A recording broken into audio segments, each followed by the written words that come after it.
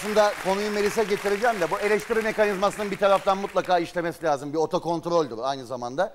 Ee, ama eleştiriden daha ziyade bence daha tehlikeli olan bir hastalığı ya da herhangi bir şeyi e, ekranda fazlaca malzeme yapmak ve bundan prim yapmak bu daha tehlikeli bir hastalık haline dönebilir yani onu hemen söyleyeyim.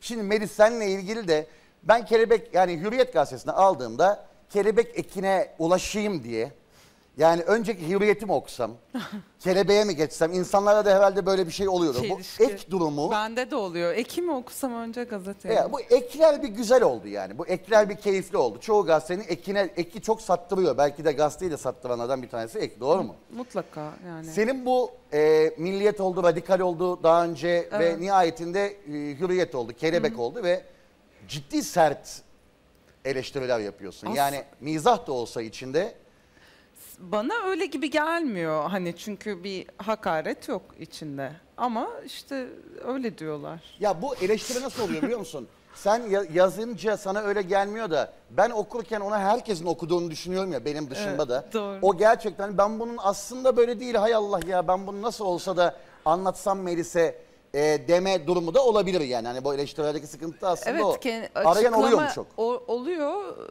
e, ya da mail atıyorlar falan. Kendilerini açıklama ihti- ama neyini açıklayacaksınız ki? Yani giymişsiniz onu. Çıkmışsınız yani hani nasıl bir açıklama ol- olabilir? Çok yani mu kötü giyiniyor bizim ünlülerimiz? Yani gerçekten çünkü her gün bir malzeme çıkıyorsa sana ve her gün ayrı insan çıkıyorsa bir sıkıntı var demektir. yani.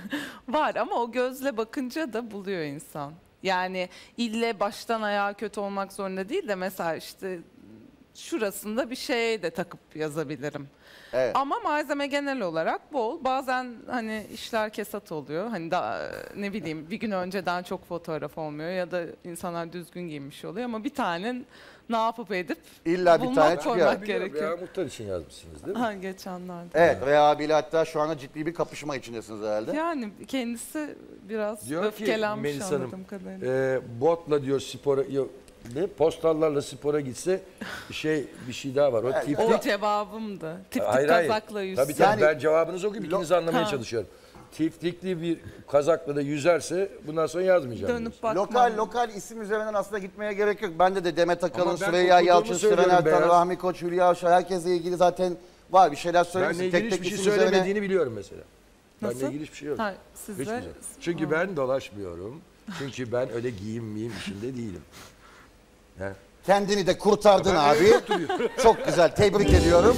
Konuya yandan girdin kendine atladın. Biz böyle kaldık konunun içinde yani. Peki Şimdi ben yarın biraz sonra ceket değiştireceğim de onun için.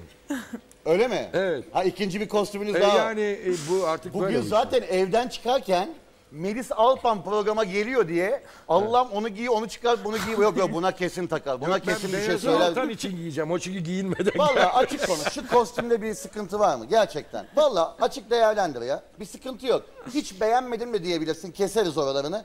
Ee, bir şey söyleyebilirsin bunun için. Ne dersin mesela? Bu buna olmamış, bu buna Eski olmamış. bir Bu İngiliz resmi gibi duruyor değil mi? Böyle hava Sen giden genelde falan. hep takım elbise giyiyordun Genel takım ama bu sene daha spor giyiyor. Ha. Ya bu hava giden İngilizler olur yani böyle. Ördek avlamış da falan. Öyle bir hali var. Acaba kravat olmasaymış mesela. Efendim? Kravat olmasaymış. Hemen Ceket, çıkartayım spor. Allah söylesin. Kravat Ceket, olmasaymış spor, ama şey kot falan altına. güzel mi? Kot, ceket falan iyi değil mi? Yeni bir ceket alabilirdin. Bu eski değil mi? Dar gibi biraz. Yok. Peki şimdi dönüyoruz. İşte bu- Halka soruyoruz. Kıyafetle ilgili.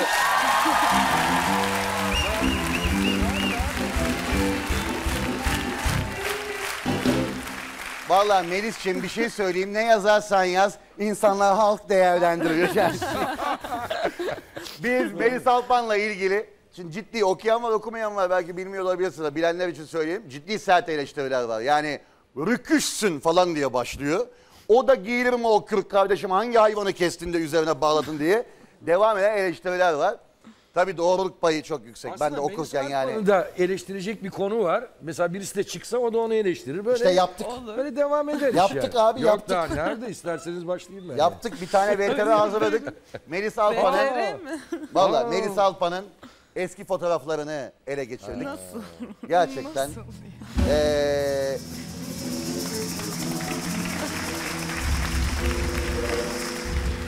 bakalım.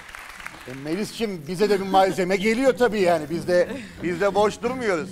Melis Alpan'ın eski fotoğraflarını ele geçirdik ve o fotoğraflar üzerine, kıyafetleri üzerine birer değerlendirme yaptık. İzleyelim mi? Facebook falan mı? Ne Ha, bu? Facebook'tan da olabilir. Facebook'tan mı? Evet, Facebook'tanmış.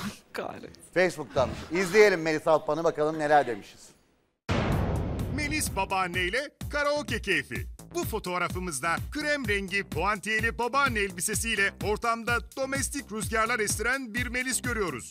Kişisel fon manzarası içinse Melis, elbisesiyle yakaladığı babaanne etkisinin altını çizecek aksesuarlar tercih ederek bir kere daha gönülleri fethediyor.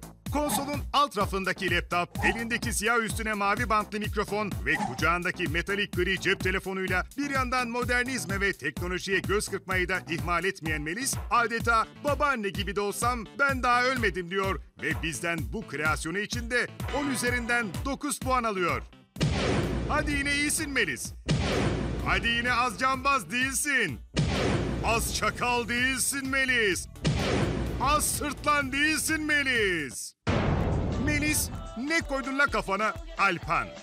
En iddialı ve en güçlü pozlarından birini gördüğümüz bu fotoğrafta Melis, başlık tercihini keçeden yapılma bir derviş tekkesi üzerine iki adet anıtsal kiraz yerleştirmek yönünde kullanarak dosta düşmana korku salıyor. Melis doğuyla batıyı, tekke ile manavı sentezlediği tarzıyla bizden bu kez de 9 puanı kapmasını biliyor. Melis Yeti Alpan. Buradaysa bambaşka bir Melis'le tanışıyoruz. Kim bilir hangi memleketin çatlatan ayazlarında 8 kat kıyafetin içerisinden bizlere sıcacık Akdeniz gülümsemesini sergileyen Melis, manşetleri ve yakası gerçek Yeti kürkü, geri kalanı gerçek kot olan bir paltoyla hem 80'lere bir saygı duruşu hem de PETA ve Greenpeace'e gelin beni bildiğiniz gibi yapın Allah yarattı demeyin mesajı veriyor. Elindeki aksesuarlar, kız anahtarlığı vesaireyle de normalliğe selam çakan Melis bizden 10 üzerinden 9 puanı kapıyor. Mekan şahaneymiş Melis. Burada Melis'i Asya'nın bir yerlerinde görüyoruz. Giydiği beyaz body ile beyazın temizlik ve saflığını vurgulayan Melis, aksesuar olarak alnına tapınak yerleştirerek bu moda işlerinde bizden fersah fersah ileride olduğunu bir kez daha kanıtlamış. Melis'e puanımız 9. Evet, nacizane. nacizane. Bir şey söyleyeceğim ondan sonra bu konuyu eee kapatacağım. Metinleri Gerçekten kim yazdıysa izindeyken alalım arkadaş. metinleri çok değerli bir eee, ekibimiz var. Zaytung. Eee, o sevgili arkadaşlarımız yazdı. Vallahi veririm gerçekten de istersen. bu geri arayanlarla bir polemiğe giriyor musun? Yani Yok, böyle bir sohbete giriyor musun? hiç. Yok girmiyorsun. Yani mümkünse zaten hiç öyle bir şey olmasa Bizim tercih nasıl iyi giyinmemizi aslında bekliyor. Yani ben hatırlıyorum annelerinizden bilmez misiniz? Pazar sabahı annem kalkar, komşu kadınlar da öyleydi yani mahallelere bakın öyledir yani hala. Bakkala giderlerken annemin ben kreasyonunu söyleyeyim. Üstte palto, kışın, altta eşofman, onun altında topuklu ayakkabı. Yani ne bulduysa giyen yani anladın mı? Bir de böyle tıkır tıkır tıkır tıkır tıkır dedi. Yani oradan zaten kendimiz düzeltmemiz bir mucize.